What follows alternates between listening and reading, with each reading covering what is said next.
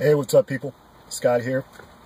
It's a beautiful day in Connecticut today, and um, I'm here at the golf course. I'm going to play a little golf, and then afterwards, I'm going to go down the road and do a little hiking because uh, it's just too nice to be inside today.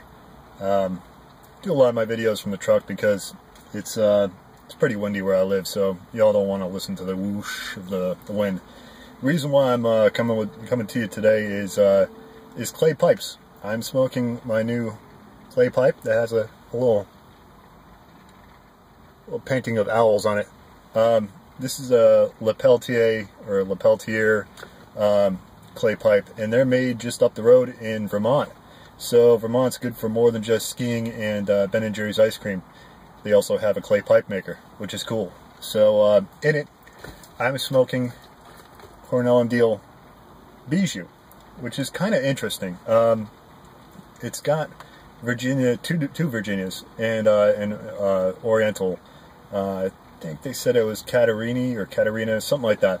Um, and it tastes a little different than the the Orientals that I'm used to, but it, it rings a bell. I've, I've got to figure out what other blends I've had it in because I dig it.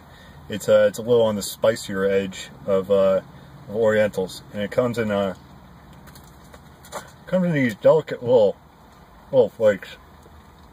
You can see. They're kind of broken up.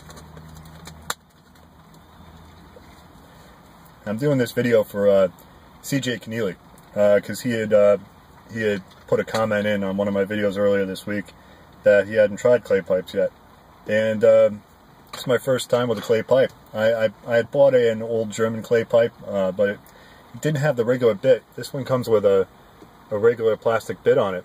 Um, the other one's just all clay and it didn't really feel right. So, and I just never got around to smoking. It's a little Dublin shape, really thin walls. This one kind of has thick walls to it.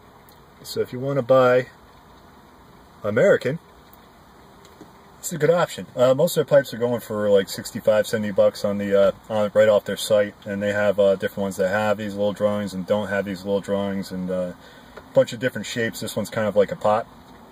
Uh, they've got billiards, they've got all kinds of different stuff. So, not to sound like an infomercial, but I thought it was kind of cool. So, uh, you know, I'm excited about buying semi-local.